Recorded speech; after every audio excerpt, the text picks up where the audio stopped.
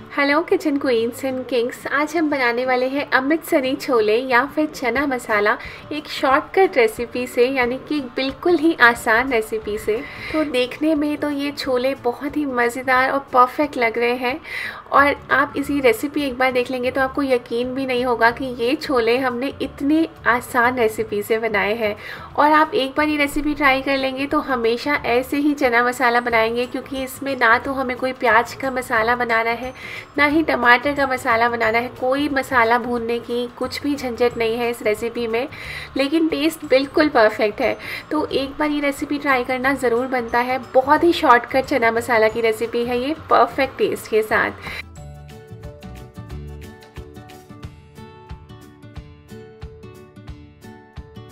Hello kitchen queens and kings आप सभी का स्वागत है मेरे channel Geena in the kitchen में।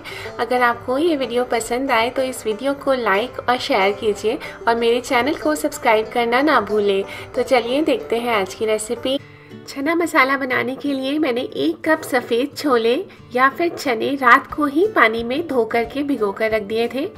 यहाँ पर मैंने एक कप छोले लिए हैं और इनको मैंने धोकर चार कप पानी में भिगो दिया था। यानी कि जितने हमें छोले लेने हैं, उसका हम चार गुना पानी लेंगे।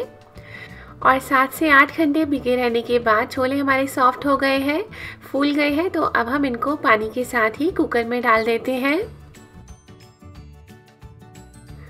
और चने मसाला में रंग लाने के लिए मैं यहाँ पर यूज़ कर रही हूँ दो टी बैग्स मेरे पास टी बैग्स हैं घर में तो इसलिए मैं टी बैग्स डाल रही हूँ। अगर आपके पास टी बैग्स नहीं है तो एक छोटे से कॉटन के कपड़े में दो टीस्पून चाय की पत्ती बाँध करके आप डाल दीजिएगा।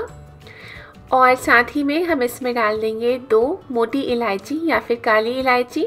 अगर आप टी बैग्स के साथ डाल रहे हैं तो काली इलायची को ऐसे ही डाल दीजिए। अगर आप टी बैग्स की पुड़िया बना करके या पोटली बना करके डाल रहे हैं तो इलायची को भी आप पोटली में ही बाँध देना। पर जब छोले उबल जाएँगे तो हम टी बैग्स के साथ साथ मोटी इलायची के दानों को भी बाहर निकाल लेंगे।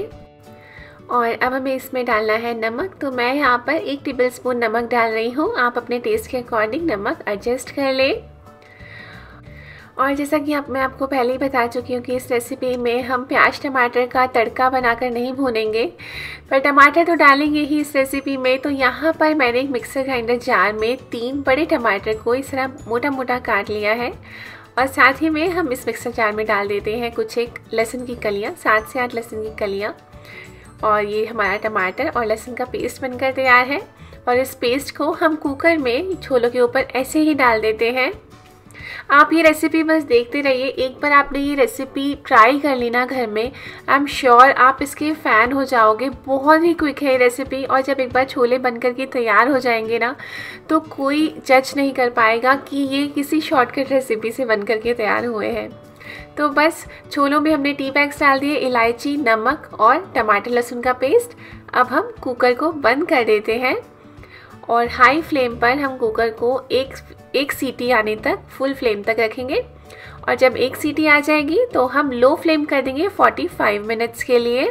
45 मिनट्स लो फ्लेम पर पकने के बाद हमारे छोले बिल्कुल सॉफ्ट हो जाएँगे। हमने यहाँ पर कोई सोडा नहीं डाला है। कई लोग मीठा सोडा डाल देते हैं जिससे कि छोले सॉफ्ट हो जाएँ। पर जब हम छोलों को रात भर भिगो चुके हैं और अभी हम इसको अच्छे से सिम सेक पर पकाएँगे तो अच्छे से सॉफ्ट हो जाएँगे। तो इसलिए मैं इसमें सोडा यूज़ नहीं करती हूँ।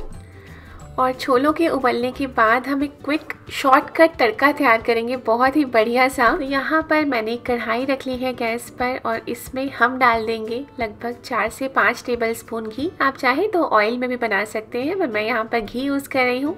घी का फ्लेवर ही अलग आएगा चना मसाला में। घी अच्छे से गर्म हो गया है तो अब हम फ्लेम को बिल्कुल लो कर देते हैं और इसमें हम डाल रहे हैं एक टी जीरा और साथ ही में डाल देंगे वन फोर टी साबुत धनिया।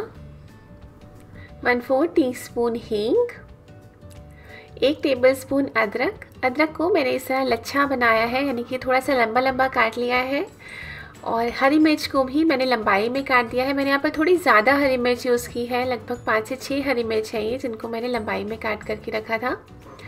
और अब हम इसके साथ डाल देते हैं एक टीस्पून देगी मिर्च या फिर कश्मीरी लाल मिर्च। कश्मीरी लाल मिर्च से हमारे चना मसाला का रंग बहुत ही सुंदर आएगा। और अब हम इसमें डाल रहे हैं दो टीस्पून गरम मसाला। गरम मसाला वैसे तो हम यूजुअली सबसे लास्ट में डालते हैं सब्ज़ी बनने के बाद, पर इसमें मैंने घी में ही डाल दिया है, और भी अच्छी खुशबू आएगी, आप देखना। तो सब चीज़ों को लो फ्लेम पर अच्छे से मिक्स करते हैं। तो तड़का आप तभी बनाइएगा जब आपके छोले उबल जाए। तो क्योंकि इस तड़के को बनाने के लिए हमें सिर्फ़ दो से तीन मिनट ही चाहिए, कुछ भी झंझट नहीं है इसको बनाने में। तो उधर हमारे छोले अब अच्छे से उबल गए हैं और प्रेशर कुकर में से प्रेशर रिलीज़ हो गया है अपने आप। और यहाँ पर हमारे छोले आप देख सकते हैं, सॉफ्ट हो गए हैं। टी बैग्स को मैंने निकाल दिया है, इलायची को भी निकाल देते हैं। और अब हमें क्या करना है? अब हमें इन छोलों में से दो कड़छी छोले हम कढ़ाई में डाल देंगे। अभी हम सारे छोलों को एक साथ कढ़ाई में नहीं डालेंगे। सिर्फ़ दो कड़छी छोलों को आप कढ़ाई में डाल दीजिए।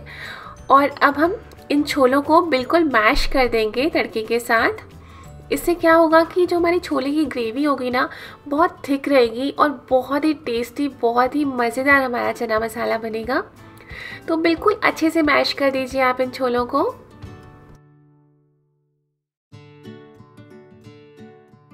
तो छोले अच्छे से मैश हो गए हैं तड़के के साथ और अब हम जो कुकर में बचे हुए छोले और पानी है, छोलों का, उनको भी हम कढ़ाई में डाल देते हैं।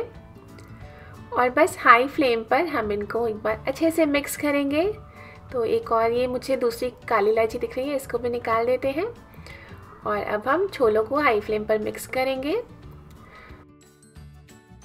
और अब हमें सिर्फ़ दो से तीन मिनट तक इनको और पकाना है हाई फ्लेम पर और हमारा ये चना मसाला बनकर के बिल्कुल तैयार होगा।